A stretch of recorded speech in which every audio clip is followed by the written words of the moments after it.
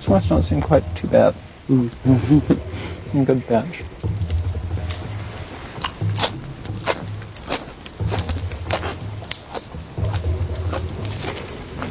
It really is more difficult when you try to swallow. Because the, it's like your bitter receptors are in the back part of your tongue and you really get it when you try and swallow it.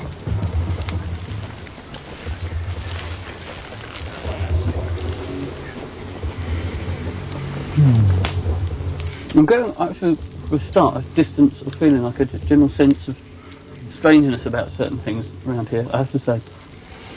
Hmm.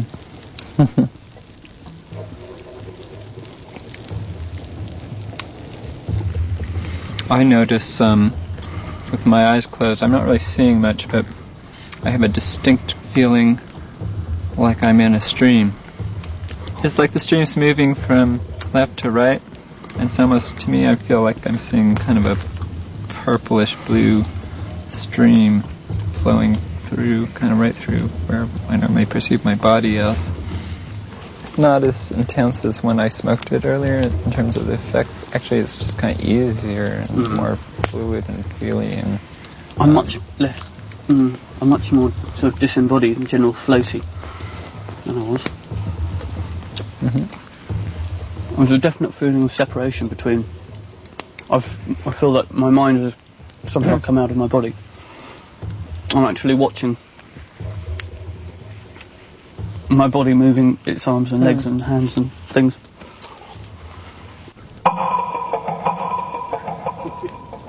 Hmm. Interesting.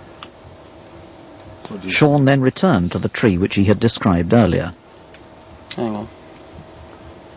Yeah, I can. I can. Do you perceive the tree and do you have the same relationship to the tree as you normally do? Not at all. No. Before I felt it was a very kind of, um, kind of organic looking thing, and it was a very. It was. It was daylight, and it was a very, Mm. um, very sort of tactile tree, and it was very. It was warm and woody, and it Mhm. was full of. Um, you can just about see that, it used, that there are bits that you'd call green during the day. Mm-hmm. But in between those, there were lovely autumn sort of flecks of brown and things like that. Now it looks to me like it, it's more of a kind of carved from stone sort of thing. Do you know Mhm. what I mean? With the sort of these bits standing out, the, the white bits standing out, and then just huge streaks of black shadow.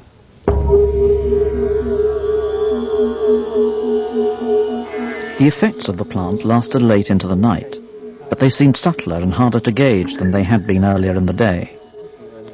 Daniel and Sean remained seated around the fire until the early hours, and when morning came, they would have a lot to say about what had happened. You can you can maybe begin to hallucinate that things have a very sort of things stand out if there if there's light on them. A Mhm. bit like the floor panelling earlier. Mhm. You know, lines pointing one way, pointing the other way.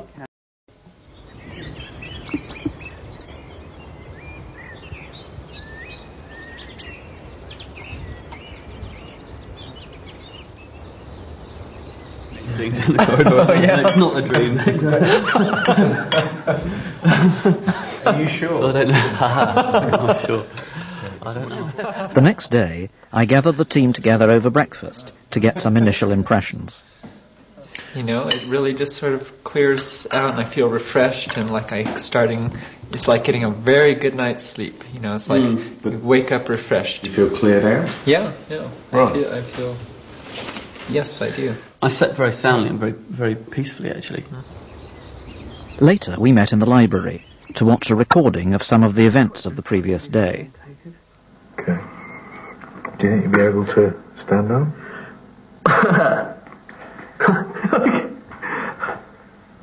Right, um, I think that that's a very funny question. Okay. And, uh, I might be able to, but I don't think so. Okay. What was the meaning of Sean's laughter? John began our discussion with a straightforward explanation. I mean, the giggling's interesting because that suggests to me a removal of inhibition. I mean, normally you don't giggle most of the time. Usually, when you're relaxed and enjoying something disinhibited, you start giggling. It wasn't giggling in the same way that if you're being um, physically tickled, which is, it was pleasurable giggling. It was actually Yeah. giggling Yeah, that yeah. felt very, Enjoy. very, very yeah, it felt very nice indeed, and it felt very positive, and it felt very. Um, That's almost the same as a small amount of alcohol. the moment um, that you say it's it's similar to a small quantity of alcohol is the moment at which that becomes um, an absurd thing to say. I, I'd like to say that um, I think that there's different qualities of laughter, and when I have this kind of deep laughter experience with salvia, it feels like it's coming from a very, very deep place, like from my core of myself, and I never have that with alcohol. Sometimes I might find things a lot more amusing and be laugh more freely. Okay. Tim and Francoise were inclined to agree and saw in the laughter a deeper, more complex response. What's interesting here is both of these two seem to know exactly what each other are talking about with regard to, say, this laughter. Laughter which is not specifically about something that they found funny, but a welling up from inside that, that this laughter is a very different sort of laughter. It may not be universal, but it's very common on people who take salvia. But is that, but you so you're suggesting this is totally unique to this drug? No, this I think. I, I think it's quite likely that there are other drugs which may have a comparable effect, but it seems to be one regular effect that salvia has. and the euphoria that salvia creates is perhaps distinctive. It's it's it's perhaps what we are trying to to get at in this conversation. There is a specificity to the euphoria that salvia produces. Okay, if you can hold your arms out in front of you, okay, and close your eyes. Apart from John, the rest of the team thought the type of laughter we had seen was specific to salvia. But why was it there? And what did it mean? And did it even, perhaps, hold the clue to the meaning of the experience? The difference between champagne giggling and uh, Sean's sort of giggling is is that it was there seemed to be some mental activity involved there. That it was his perception that caused the giggling and not an emotional uninhibition. Wouldn't it be true to say that any question you were asked op- opened the a paradox to you and and you perceive the fun from that because you could.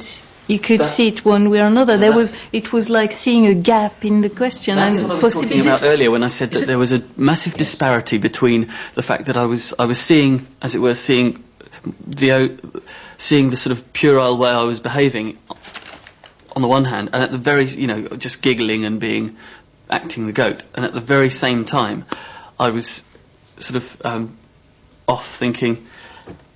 Right now, that's yeah, that's really interesting. As I say, drawing comparisons with sort of painting and art and the things that are going on in the floor, and it's being able to actually hold these both and weigh them and look.